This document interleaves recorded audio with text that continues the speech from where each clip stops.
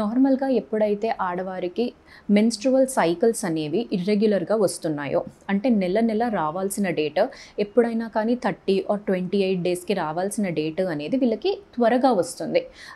ఒక twenty five డేస్కి వస్తుంది. దాని తర్వాత కొన్ని రోజులకి ఇంకా ట్వంటీ త్రీ డేస్కే వస్తుంది ట్వంటీ డేస్కి వస్తుంది. ఇలా ఫాస్ట్ ఫాస్ట్గా సైకిల్స్ అనేవి వస్తున్నాయి. ఆరల్స్ కొన్ని రోజులు స్కిప్ అయిపోయి అసలు ఒక టూ త్రీ మంత్స్ అనేది కూడా రాకుండా ఉంటుంది. సో మీ సైకిల్స్ అనేవి ఇలా ఎరాటిక్గా అవుతున్నాయి అంటే అప్పుడు ఏదో ఒక సమస్య అనేది స్టార్ట్ అయింది అనేది గమనివ్వాలి.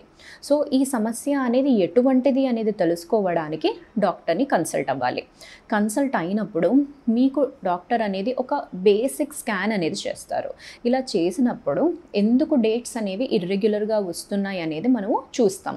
సో గర్భసంచిలో ఏమన్నా ప్రాబ్లం ఉందా? లేకపోతే ఏమైనా అండాశయంలో ప్రాబ్లం ఉందా అనేది చూడాలి.